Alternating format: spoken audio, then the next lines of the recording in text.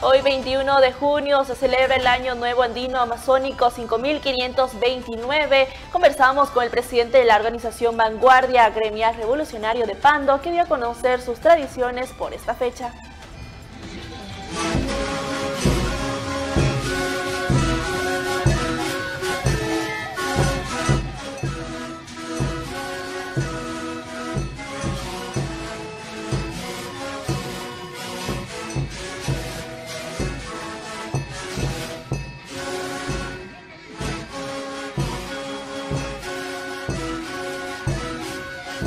Saludarle a todo el medio de comunicación que por este prestigioso canal, también a la audiencia que tiene el canal.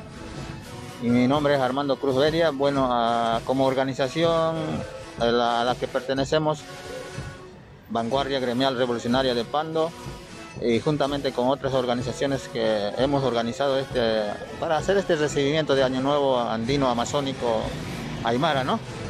Y bueno, nos concentramos aquí de muy temprano, a las 4 de la mañana estuvimos aquí ya preparando, haciendo preparativos y se hizo como, como se hace nomás ya desde hace tiempo, ya no, no es que recién se está inventando esto, se viene haciendo esto desde los años 70, 80, cuando muchos compañeros empezaron a sobresalir y a decir que nosotros pertenecemos a estas culturas ancestrales, incluso precolombinas, antes que lleguen los, los invasores europeos a estos lugares los que nos impusieron una religión, una forma otra forma de administrar nuestra, nuestras instituciones. ¿no?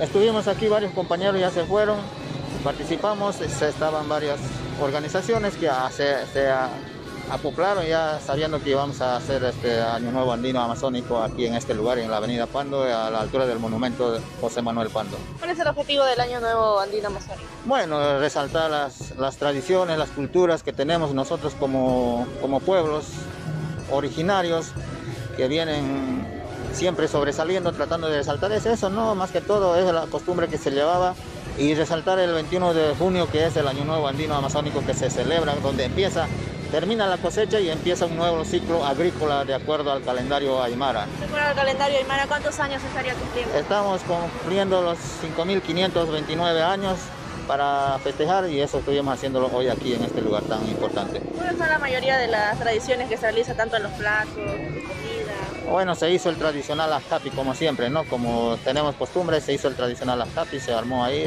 muchos compañeros y se, compartió, se confraternizó como, como se debe hacer.